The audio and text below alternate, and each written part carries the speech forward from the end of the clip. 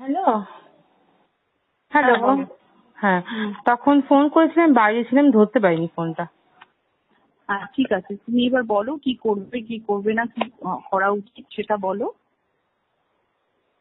দেখো জয়াদি আমার কাছে তো প্রথম কথা টাকা নেই। ঠিক আছে? টাকা নেই আমার এমন কোনো ব্যাংক ব্যালেন্স নেই আমার কিছুই নেই দেওয়ার মতো। আর সেদিনকার ঘটনাটা যেটা হয়েছে সেটা ঠিক হয়নি। সেদিন যে ঘটনাগুলো হয়েছে সেটা ঠিক হয়নি। ওটা করাটা উচিত হয়নি আমার মনে হয়।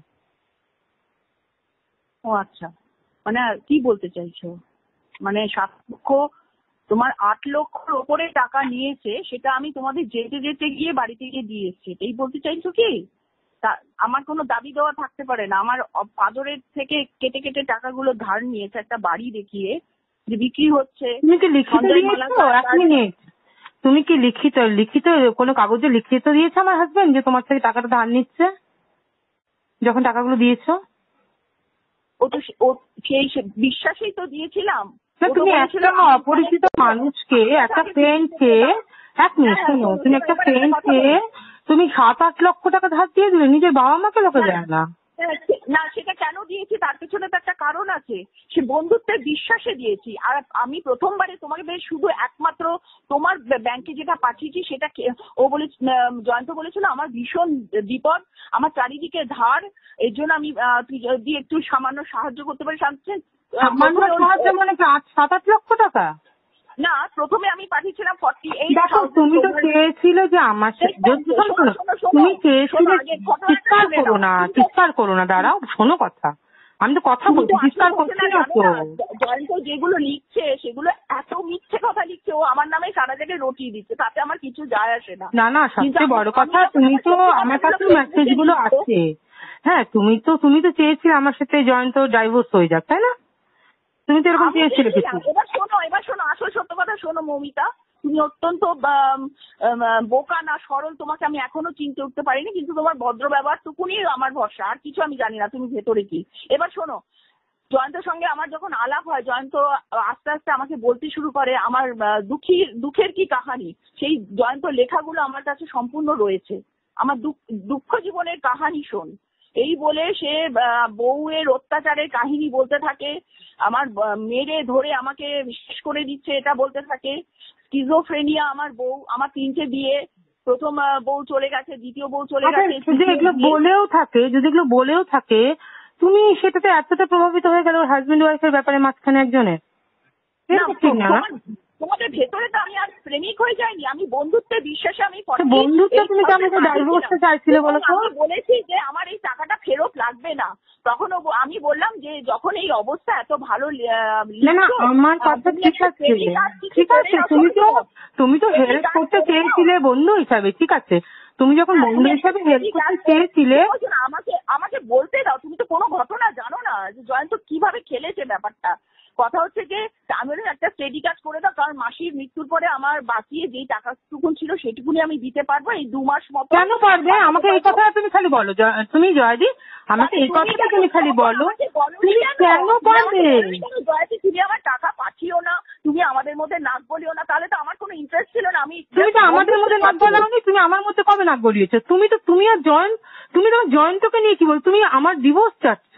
কেন? সেই মেসেজগুলো আমি দেখেছি জয়ন্তর কাছ থেকে জেনেছো? জয়ন্ত জয়ন্ত নিজে বলেছে তোমাকে লেখাগুলো পাঠাবো যে তুই টাকাগুলো না পাঠালে আমি বাড়ি করে আরেকটা ফ্ল্যাটে যেতে পারব না এবং এই মাগিটাকেও এখান থেকে সরাতে পারব না। জাস্ট এই না, না, না, ঠিক আছে, এই কথাটা যে বলে থাকে, এক মিনিট। জয়ন্ত যদি এই ভাষাটা এক মিনিট, তুমি শোনো। আমি আমি শুনতে পাচ্ছি তোমার কথা। তুমি আসতে বলো আমার কথা তুমি শোনো তোমার তো আমি শুনছি। বলতেই দিচ্ছ না। তুমি আমি বলতে দিচ্ছি, অবশ্যই দিচ্ছি, তুমি- কেন দোষেরই আমার আমাদের কথা বলো না জয়াদি সেই কথা বললে কিন্তু প্রমাণ আমার কাছে প্রচুর আছে। আমার কাছে অনেক হোয়াটসঅ্যাপ মেসেজ আছে আমার কাছে অনেক ভিডিও আছে হোয়াটসঅ্যাপ টাকার লোভে পড়ে গিয়েছিলে? নইলে তুমি স্বামীকে টাকা পাঠাচ্ছ তুমি কেন আমাকে বাধা দাওনি? আমি তো আমি লোভে পড়ে গেছি তুমি তো লোভে ছিলে যে আমার হাজবেন্ড আমাকে ডিভোর্স দিয়ে তোমার সাথে থাকবে। তুমি তো তুমি তো সেদিন ডাহা তোমার বলে হাজবেন্ডের সাথে ডাইভোর্স হয়ে গেছে। তুমি নাকি এখানে সঙ্গে থানার সামনে থানাতে বসে বললে তোমার ডাইভোর্স হয়নি? তোমার হাজবেন্ড আছে তোমার হাজবেন্ডের সাথে ডাইভোর্স হয়ে গেছে। আর- তুমি তোমার যখন জয়ন্ত এক মিনিট তুমি যখন জয়ন্তই যখন তোমার এখন টাকা দিয়েছ সবকিছু করেছ তুমি জয়ন্ত থেকে টাকা নিতে এখানে এসছো যখন তোমার এটা বক্তব্য তখন তুমি থানায় বসে জয়ন্তের সামনে মুখামুখি হলে না কেন? আমাকে কথা বলো তুমি কেন হলে না মুখামুখি? তুমি তো ওখানে ওখানেই মিশে যায়। এবার আমি জলপাইগুড়ি যাব আইসি সামনে কথা বলব। আইসি বলল এই ভদ্রলোকের সঙ্গে কথা বলে কোনো লাভ নেই। একেবারেই অসুস্থ, তাছাড়া মাথা যেভাবে ঘোরাচ্ছে, আমি উনি কোথায়? যার জন্য আমি এখানে এসেছি। বলে, ওই যে আপনি টিভিতে দেখুন, ওই আমাদের ক্যামেরার মাধ্যমে কিরম করে মাথা ঘোরাচ্ছে, ওই যে আপনার পেছনে বসে আছে তো যা লিখছে, সমস্ত মিথ্যে কথা। সে যে যা খুশি বলুক, আমার কিচ্ছু যায় কিন্তু আসল সত্যটা তুমি জেনে নাও। আমি জানি এই টাকা পাবো না, আমি তোমার সঙ্গে এই নিউজটা লিখতে গেছিলাম, যে আলোচনাটা হোক তুমি সত্যি কথাটা বলো এইটুকুনি চেয়েছি।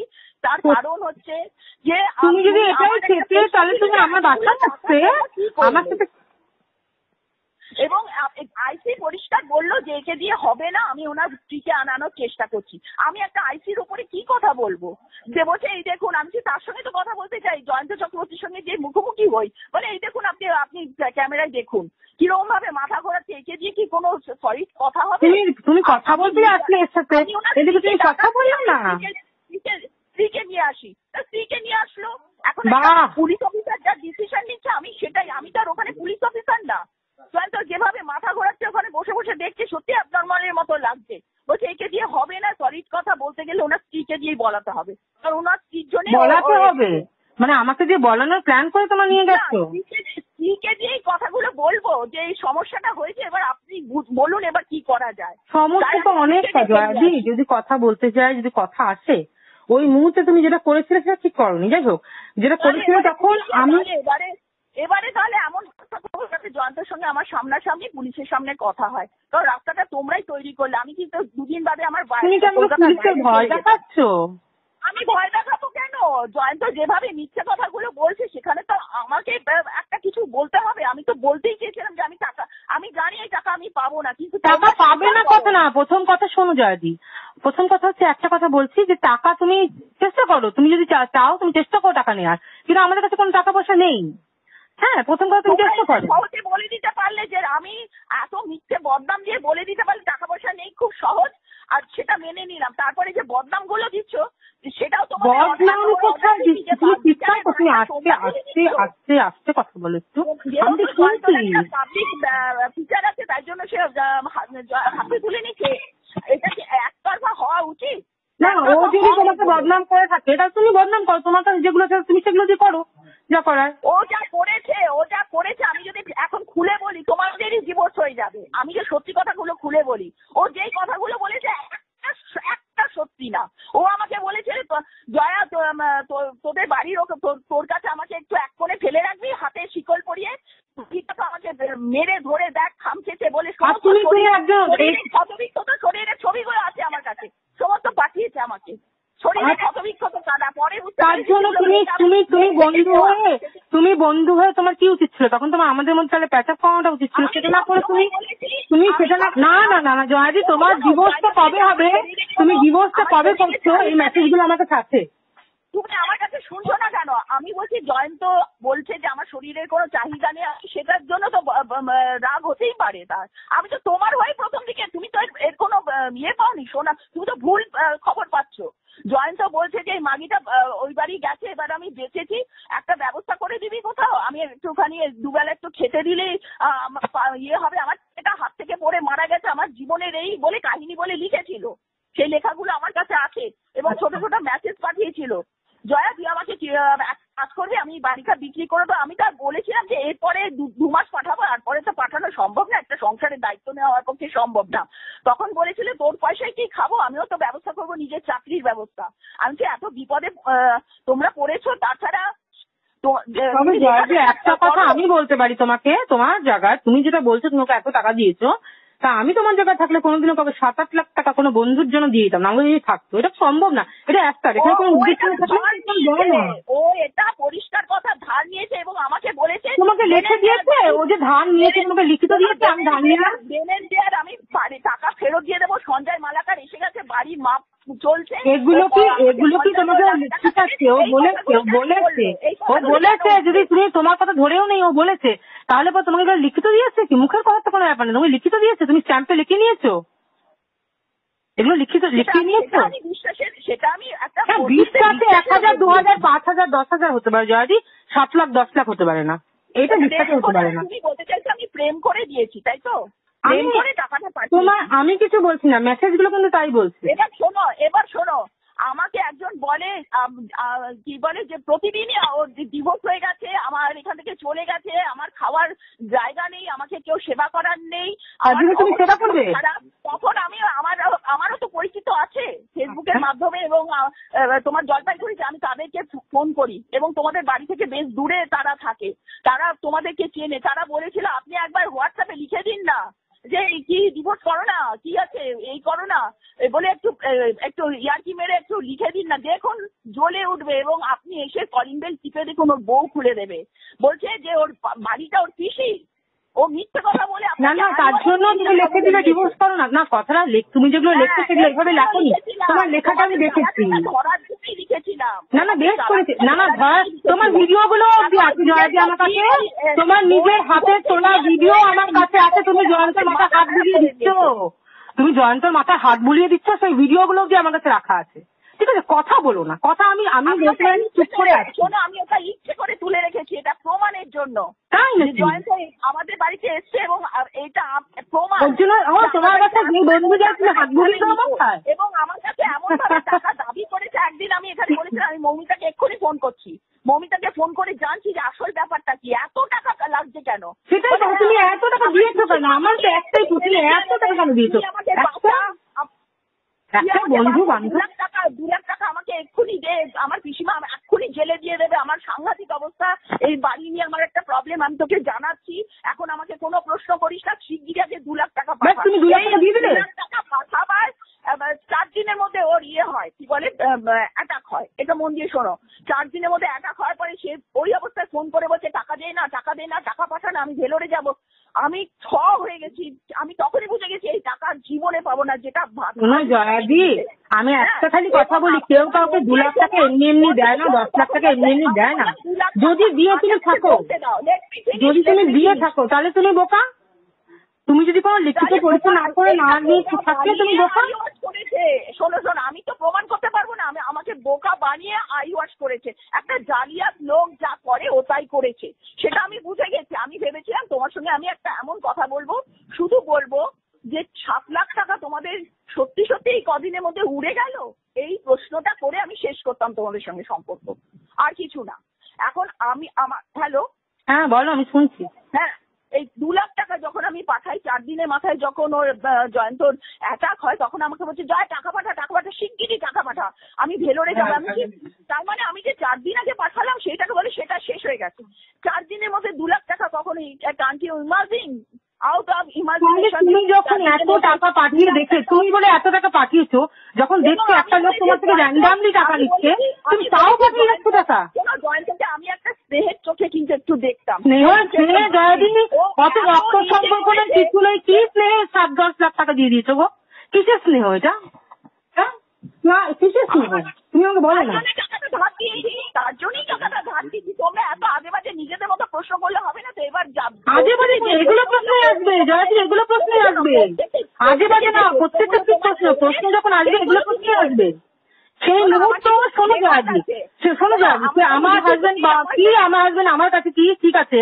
কিন্তু এটা ঠিক সেদিন আমার হাজবেন্ডকে বাড়ির থেকে তুমি অসুস্থ অবস্থায় থানায় তুলে নিয়ে গেছো সেটা ঠিক হয়নি একদম না। তুমি সেদিন তো ফোন করে কথা আজকের এই কথাগুলো তুমি ফোনে আমাকে সেদিন বলতে শোনো পারছ আইসিটা ভেবেছে তাই নিয়ে গেছে। আমি কিন্তু গিয়ে ডিক্টেটর নই আমি ওখানে চাকরি করি না আমি আবেদন নিয়ে গেছিলাম একটা চিঠি লিখে নিয়ে গেছিলাম আমাকে একটু হেল্প করুন এইভাবে টাকাটা নিয়ে এবং দিনের পর দিন মিথ্যে কথা বলে এই প্রমোটার আছে এই মাপজোক হচ্ছে এই বিক্রি হয়ে যাবে এই যে আমাকে একটা জালিয়াতি কেসে পাঠালো। আমি যাকে বিশ্বাস করে বললাম সার্টিফিকেট ভেঙে দিচ্ছি, এই টাকাগুলো পাবো তো রে বলে, আমি একটা এখানটা ভীষণ পরিচিত লোক।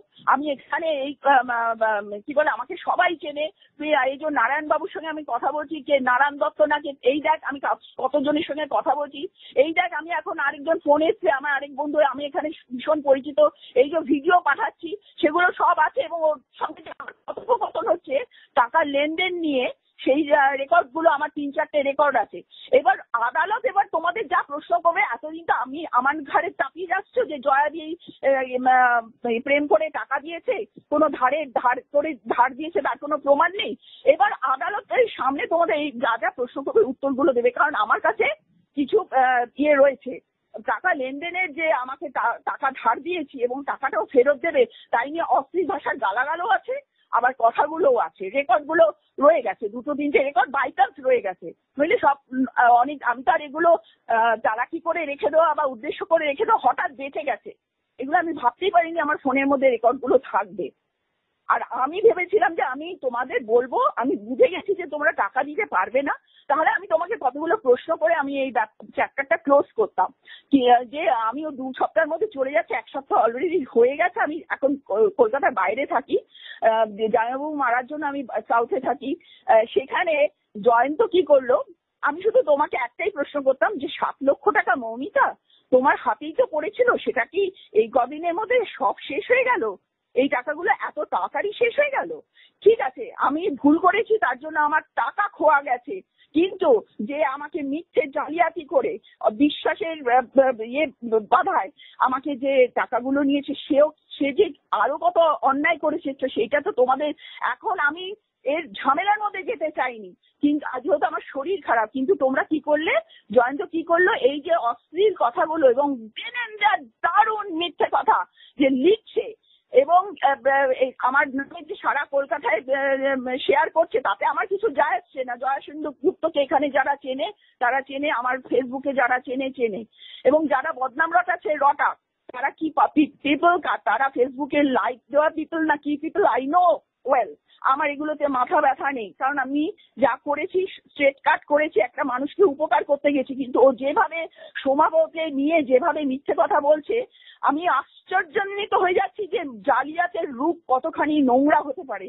সে বউকে সোমাবো জানে না সব যে বউকে নিয়ে কি কাণ্ড করেছে আমি প্রতিবাদ করেছিলাম যে একটা অল্প বয়সী মেয়েকে নিয়ে এসব কি চলছে? ও ও আমা- স্পষ্ট শুনেছি তোমাদের বাড়িতেই বসে ও আরেকজনকে ফোন করছে। সম্ভবত হয়তো সোমাবো সোমাবো। তো একটা নেশাখোর এবং জয়ন্ত চক্রবর্তীর পায়ের কুকুর যখনই যা অর্ডার করে তাই আহ, ও বলে দেয়। ও বলে আমার হয়ে লিখে দে ও লিখে দেবে। এবং আমি এগুলো সব এখন লিখব। সোমাভ রায়চৌধুরী কেমন চরিত্রের দেখো যখন জয়ন্তর নামে যা তা কথা আমার কাছে বলল বলেছিল আমি জানি না ও কেমন লোক। এবং তোমার বাড়িতে গেছে আমার কোনো প্রবলেম নেই। আমার কাছে যথেষ্ট প্রমাণ আছে। আর তোমার কাছে যদি কোনো প্রমাণ থাকে তুমি সেটা দেখাও। কারণ আমার হাজবেন্ড খুব আমি অসুস্থ। যেমন আমি যেমন একটা লোককে বিশ্বাস করে অন্যায় করেছি ভুল করেছি যার জন্য আমার আট লাখ টাকা চলে গেছে সেটা যেমন আমি মেনে নিয়েছি যেমন সেই লোকটা অন্ধবিশ্বাসে মানে একটা সুযোগ নিয়েছে একটা জালিয়াতি করেছে সেটাও কিন্তু একটা বিশাল অন্যায় সেটাও প্রমাণ হবে। অন্যায় কিন্তু আরেকটা জিনিস তুমি শু- এক মিনিট দাঁড়াও কথা শোনো কথা শোনো কথা শোনো কথা শোনো। অন্যায় তো সেটাও যখন তুমি তুমি ভালো মানুষের মুখোশ ধরে একটা লোকের বাড়ির জীবস চেষ্টা করছিল এটা স্বামী স্ত্রী সেটাও তেমন চরম অন্যায়। সেটাও বিচার হবে। বিচার যখন হবে সবটাই হবে জয়াদি বিচার একতরফা হবে না। আইন এখনও একতরফা নেই তো। তোমাকে প্রমাণ সেটা করতে হবে মৌমিতা। আমি যতটুকুন কথা বলেছি তোমার নামেই বলেছি। আর ও যে এই কলকাতায় এসে বিভিন্ন মেয়েদের বাড়িতে উঠতো সেটা আমি জানতাম না সেটা সোমাবো বলেছে আমাকে। সোমাবো কি বলেছে শোনো? বলেছে ওর- প্রথম বউ ওর থেকে বারো বছরের বড় ছিল। আর এখানে আচ্ছা আমার এগুলো শুনে কোনো লাভ নেই জয়াদি। দেখো তোমার যেগুলো করার তুমি করো আমার তো কিছু বলার নেই। আমার কাছে কোনো টাকা পয়সা কিচ্ছু নেই। তুমি খোঁজ নাও খবর নাও তুমি দরকার পড়ে ফেসবুকে লেখো।